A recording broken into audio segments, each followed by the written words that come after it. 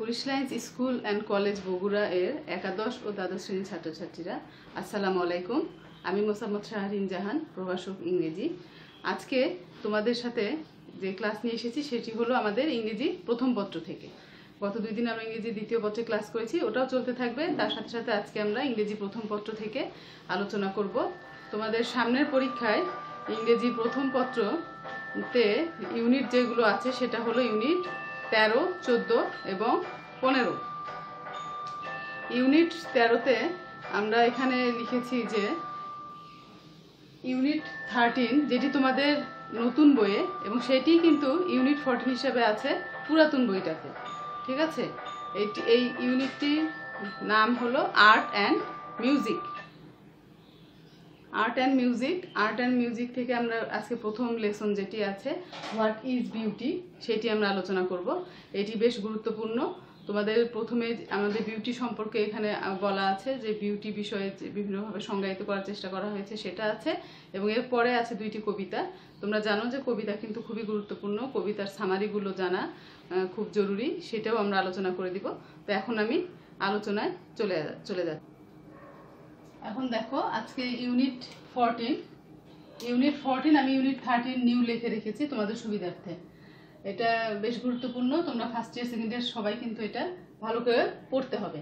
দেখো unit fourteen art and music lesson one what is beauty তাহলে পুরো ইউনিটটিতে আমরা আর্ট এবং মিউজিক নিয়ে পড়ব, শিল্প এবং সংগীত, এবং লেসন ওয়ানে পড়ব হোয়াট ইজ বিউটি বিউটি কি?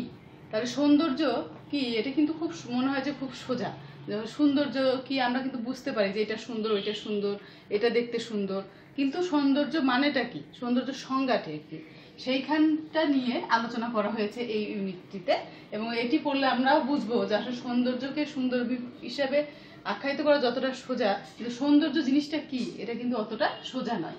তাহলে আমি দেখো ইউনিট লেসনটা পড়ছি, আমি সুন্দর করে বাংলা সহ পড়ার চেষ্টা করছি, তোমরাও খুব ভালো করে মনোযোগ দিয়ে পড়বে এবং এখান থেকে অন্যান্য প্রশ্ন বিষয়ে আলোচনা, সেগুলো কিন্তু বাসায় প্র্যাকটিস করতে হবে। তাহলে দেখো what is beauty beauty is easy to appreciate সৌন্দর্যকে সহজেই প্রশংসা করা যায়। যে জিনিসটা সুন্দর, সেটাকে সহজেই প্রশংসা করা যায়। বাট ডিফিকাল্ট টু ডিফাইন কিন্তু যখন আমরা ডিফাইন করি বা সংজ্ঞায়িত করি, তখন কঠিন হয়ে যায়।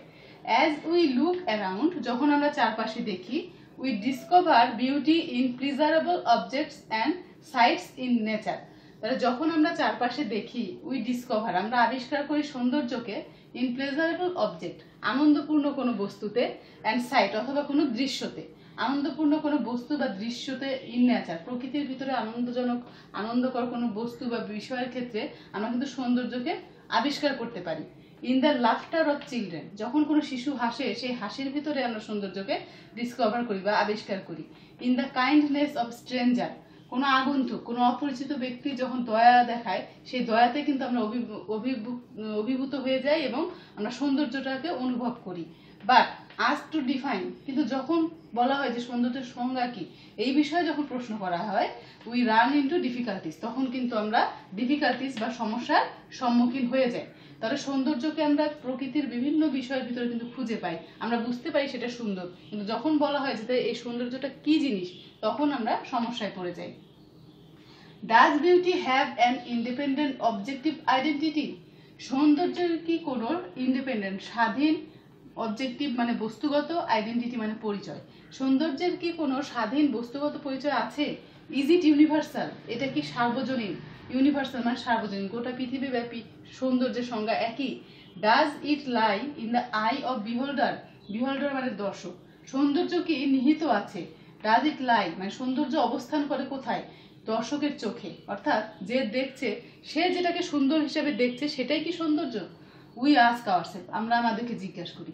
তাই দেখো, এই যে এই প্রশ্নগুলো বলেছে, এগুলো কিন্তু তুমি তোমাকেও প্রশ্ন করতে পারো। তাহলে কিন্তু দেখবা যে সংজ্ঞাটা খুঁজে পাওয়া আসলে কঠিন, যে আসলে কোনটা সৌন্দর্য? এটা কি আমাদের চোখে যেটা সুন্দর সুন্দর লাগছে সেটা নাকি সৌন্দর্য গোটা পৃথিবীব্যাপী একই জিনিস? নাকি এটা মানে এটা ডিপেন্ড করে যে কে দেখছে? কে দেখছে সেটার উপরে? নাকি কোনো বস্তুগত এটা কোনো সংজ্ঞা আছে যে এটাই সৌন্দর্যের একমাত্র সংজ্ঞা? এটা যে বস্তুগুলো কভার করতে পারবে সেটাই সুন্দর। তাহলে এই বিষয়গুলো কিন্তু আমাদের মনে এই প্রশ্নগুলো আসতে পারে।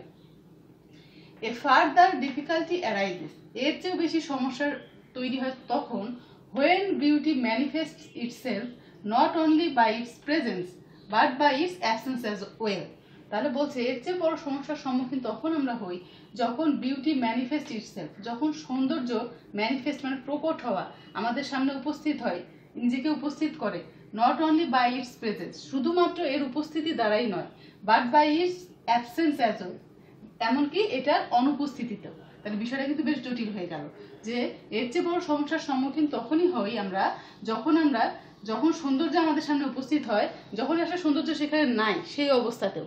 যখন আমরা, যখন সৌন্দর্য কোনো জায়গা থেকে অ্যাবসেন্ট থাকে, অনুপস্থিত থাকে, সেখানেও কিন্তু সৌন্দর্য আমাদের সামনে এসে প্রকটভাবে উপস্থিত হতে পারে। তাই তখন আমরা কিন্তু আরও বেশি সমস্যার সম্মুখীন হয়ে যাই। তাহলে এই লাইনটা কেন বলল? তার কারণটা দেখো নিচে ব্যাখ্যা করছে।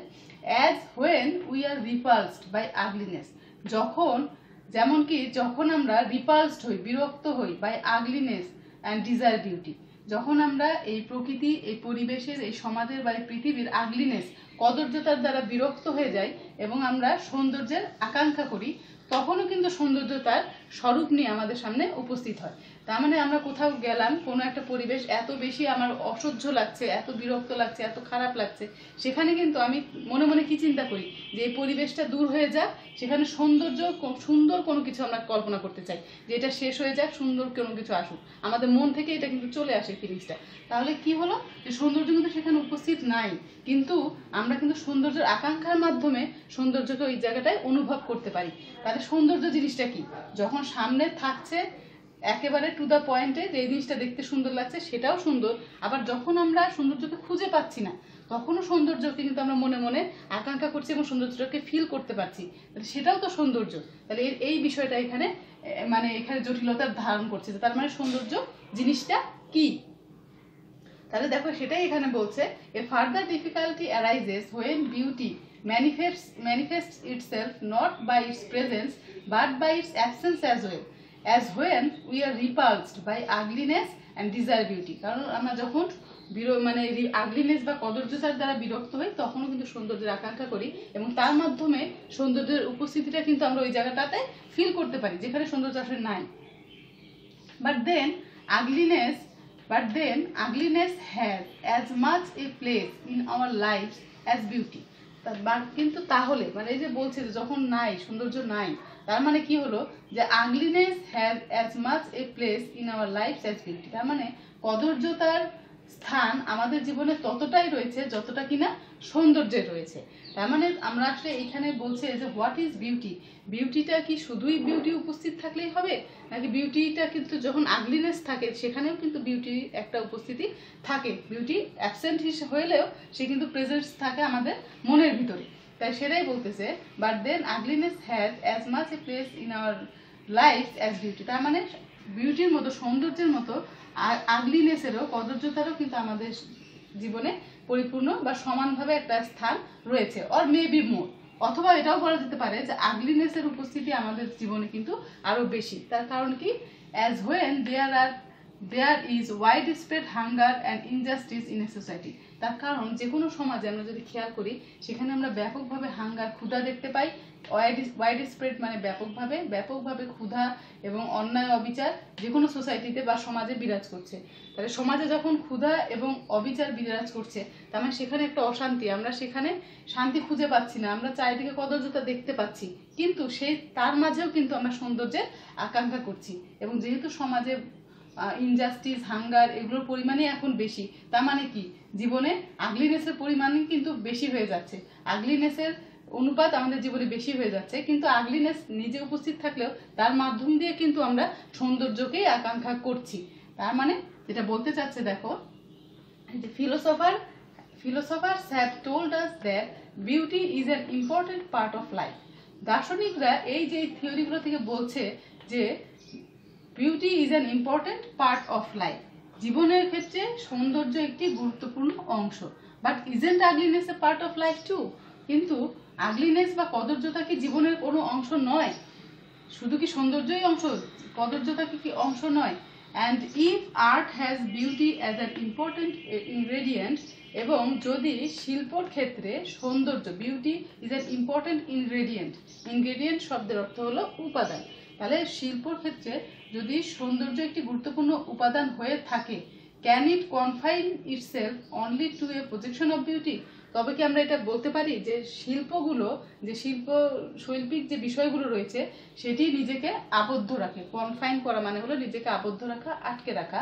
Itself only to a projection of beauty তাহলে শৈল্পিক যে কাজগুলো আছে তাদেরকে একমাত্র কাজ হলো সৌন্দর্যকে আমাদের সামনে উপস্থিত করা প্রজেকশন শব্দের অর্থ হলো অভিক্ষেপ। তার মানে সিনেমায় যেরকম প্রজেক্টর আমরা কিন্তু বলি যে সিনেমায় একটা দৃশ্য আমাদের সামনে উপস্থাপন করা হয়। তাহলে যখন আমরা কোনো শিল- শৈল্পিক কোনো বিষয় পড়ি আর্ট মিউজিক কবিতা সেখানেও কিন্তু ওই সৌন্দর্যের বিষয়গুলো ছবির মতোই দেখবা যে আমাদের সামনে এসে উপস্থিত হয় প্রজেকশনের মাধ্যমে উপস্থিত হয়। তাহলে বলছে দার্শনিকরা তাহলে দার্শনিকরা বলছে যে তাহলে বিউটি অ্যান্ড আর্ট হ্যাজ তার কি সুন্দর কি বলে? শিল্পী, শিল্প কি শুধুমাত্র শিল্পের উপাদান কি শুধুমাত্র সৌন্দর্যই কিনা? এটা কি নিজেকে শুধুমাত্র সৌন্দর্যকে উপস্থাপন করার জন্য ব্যবহার করা হয়? Can art ignore what is not beautiful তাহলে শিল্পী, শিল্প কি কখনো সেই জিনিসগুলোকে ইগনোর অবহেলা করতে পারে যে জিনিসগুলো বিউটিফুল নয়? শিল্পীর মাধ্যমে, শিল্পী কি শুধুমাত্র সৌন্দর্যকে আমাদের সামনে তার শৈল্পিক কর্মকাণ্ডের মাধ্যমে উপস্থাপন করে? সে কি যেটা সৌন্দর্য নয়, যেটা সুন্দর নয়, সেটাকে সম্পূর্ণ রকম ইগনোর করতে পারে? তা কিন্তু পারে না। আসলে যে বিষয়টা এখানে বলতে চাচ্ছে, যে জীবনে আমরা যতই সৌন্দর্য সৌন্দর্য করে অস্থির হয়ে যাই না কেন, জীবনের কিন্তু আসলে দুইটা অংশ। আমরা যদি সৌন্দর্য তখনই অনুভব করি যখন একটা জিনিস সুন্দর, আবার সুন্দর তখনই আমরা কিন্তু অনুভব করতে পারি, সৌন্দর্যের আকাঙ্ক্ষা তখনই আমাদের মধ্যে আসে যখন আমরা অসুন্দরের মধ্যে থাকি। তাহলে সৌন্দর্যের যেরকম গুরুত্বপূর্ণ আছে, সে একইভাবে কিন্তু অসুন্দর যেটা যেটা কদর্য, যেটা দেখতে ভালো লাগছে না, সেই জিনিসটারও কিন্তু আমাদের জীবনে একটি গুরুত্বপূর্ণ অংশ, এমনকি বেশি অংশটা কিন্তু সেটাই। কারণ যখন অসু- অসৌন্দর্য থাকছে সেই জিনিসগুলোই কিন্তু আমাদেরকে মোটিভেট করছে সৌন্দর্যকে নিয়ে আসার জন্য। পৃথিবীতে যদি অসৌন্দর্য না থাকতো, হানাহানি না থাকতো, তাহলে এত মানুষ এত কাজই করতো না। সবই সুন্দর, সবই পারফেক্ট তাহলে কি মানুষ কোনো কাজ করতো করতো না? তাহলে জীবনকে বোঝার জন্য কিন্তু আমাদের এই প্যাসেজটি খুবই গুরুত্বপূর্ণ। যে আমরা যে হতাশ হয়ে যাই, যে আমাদের জীবনে এই দুঃখ কষ্ট আসলো, কিন্তু দুঃখ কষ্টটা আছে বলেই আমরা কিন্তু সুখের জন্য কাজ করি। এটা আমাদের জীবনকে গতিশীল করে। এটাই জীবনের সত্য এবং যেটা সত্য সেটাই কিন্তু সুন্দর। আমরা পরে কিন্তু সেটাই দেখব যে জীবনে এই যে অসৌন্দর্য, কদর্যতা, মৃত্যু, হানাহানি, যত যাই বলো, এগুলো যেহেতু আমাদের জীবনের সত্য একটা অংশ, এগুলো আছে বলেই সৌন্দর্যকে আমরা আকাঙ্ক্ষা করি, এগুলো আছে বলেই সৌন্দর্যকে আমাদের মধ্যে নিয়ে আসার জন্য আমরা প্রচেষ্টা চালিয়ে যাই। তাহলে এগুলোকে অবহেলা করার কোনো সুযোগ নেই। যেগুলো, কারণ যেগুলো সত্য, সেগুলো আছে বলেই সেটার মধ্যে দিয়ে আমরা সৌন্দর্যকে কিন্তু খোঁজার চেষ্টা করি। তাহলে এখানে আমরা আমাদের জীবনের একই সাথে বিউটি এবং আগলিনেস দুটোর গুরুত্ব কিন্তু খুব সুন্দর করে এখানে বলা হয়েছে। এরপরে দেখো, Poets and artists have provided an answer by incorporating both into their work. তাহলে এই যে বলল যে শিল্পী কি শুধু সৌন্দর্যকে আমাদের সামনে প্রকাশ করে? অসৌন্দর্য কি তাদের তাদের শিল্পের কোনো বিষয় থাকে না? সেটারই উত্তর এখানে বলছে যে পোয়েটস অ্যান্ড আর্টিস্ট কবি এবং শিল্পী যারা আছে they have provided an answer তারা এই প্রশ্নটার উত্তর দিয়েছে by incorporating both into their work তাদের কাজের ভিতরে এই দুইটাকেই মানে বিউটি এবং আগলিনেস দুইটাকে ইনকর্পোরেট করেছে, একসাথে সংযুক্ত করে তারা এই প্রশ্নটার উত্তর দিয়েছে। তার মানে শিল্প কখনোই শুধুমাত্র সৌন্দর্যকে প্রকাশ করে না, সেটি একই সাথে জীবনের কদর্যতা বা খারাপ দিকটিকেও কিন্তু একইভাবে প্রকাশ করে। দুইটাকে একই সাথে প্রকাশ করে, তার কারণ শিল্পীর কাজই হলো জীবনকে আমাদের সামনে তুলে ধরা, তার শৈল্পিক কর্মকাণ্ডের মধ্যে দিয়ে। জীবনকে যখন তুলে ধরতে চাই, জীবন মানে শুধু সৌন্দর্য নয় সুন্দর সুন্দর দিক নয়, শুধু ভালো দিক নয়, জীবনের ভিতরে খারাপ দিকও আছে। কাজে এই দুইটাকেই তারা কিন্তু তাদের শৈল্পিক কর্মকাণ্ডের মাধ্যমে আমাদের কাছে প্রকাশ করে। ইন ডুইং সো এই কাজটা করতে যে সৌন্দর্য এবং কদর্যতা দুইটাকে একই সাথে প্রকাশ করতে যে they have often tied beauty তারা প্রায়ই বিউটিকে টাই করেছে বেঁধেছে বা they have often tied beauty বিউটিকে সংযুক্ত করেছে কিসের সাথে? টু ট্রুথ অ্যান্ড জাস্টিস সত্য এবং ন্যায় বিচারের সাথে। আমরা যদি একটা সিনেমার কথাই কল্পনা করি, যে সেখানে যে গ্রুপটা ভালো থাকে, যারা ভালো, তারা কিন্তু দেখবা সবসময় সত্যের জন্য লড়াই করছে, তারা জাস্টিস ন্যায় বিচারের জন্য তারা, ন্যায় বিচারের পক্ষে কথা বলছে। তাহলে এইভাবে শিল্পীরা তারা সত্যকে প্রকাশ করেছে তারা সৌন্দর্যকে প্রকাশ করেছে সত্য এবং ন্যায় বিচারের সাথে সম্পর্ক যুক্ত রেখে। সত্য মানেই সেখানে সৌন্দর্য মানেই সেখানে সত্য থাকবে, সেখানে ন্যায় বিচার থাকবে। শিল্পীরা এটাকে এভাবে প্রকাশ করেছে।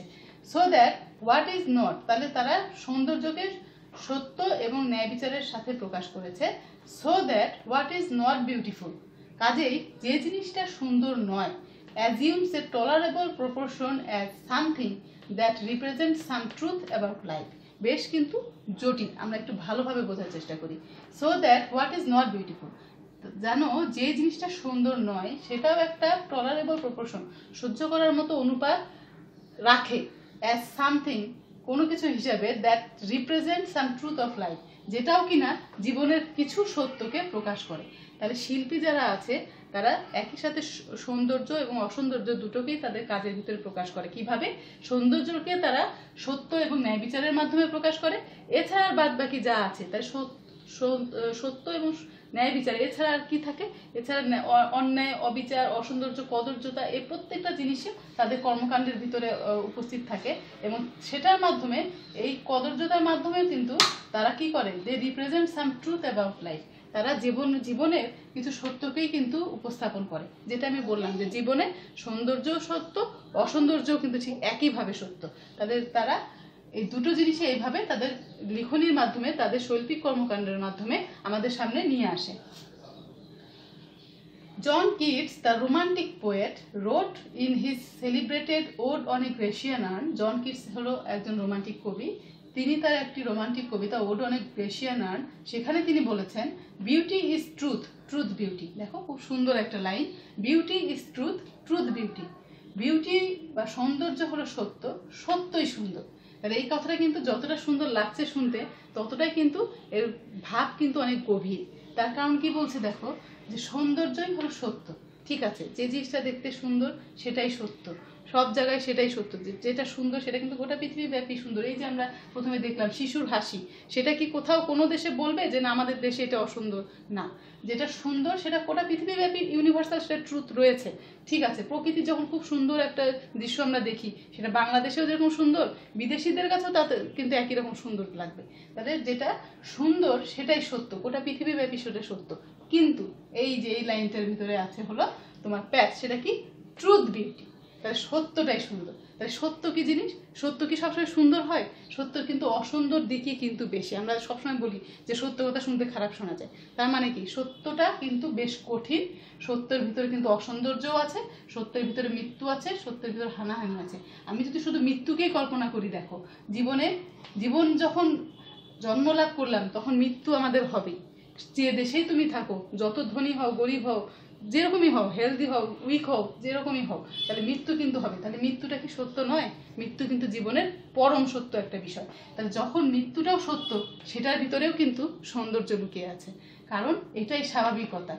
আমরা জন্মেছি, একটা সময় কাজ করব, একটা সময় মারা যাব। যদি এরকম হতো যে মৃত্যুকে আমরা অ্যাভয়েড করতে পারি, আমরা ওই অবস্থায় চললাম, বৃদ্ধ অবস্থায় পড়ে আছি, মৃত্যু হচ্ছে না, তখন কিন্তু আমরা মৃত্যুকেও আকাঙ্ক্ষা করি। পৃথিবীর অনেক দেশ আছে, সেখানে মৃত্যুকে বলা হয় যে হ্যাঁ তুমি এখন মারা যেতে পারো।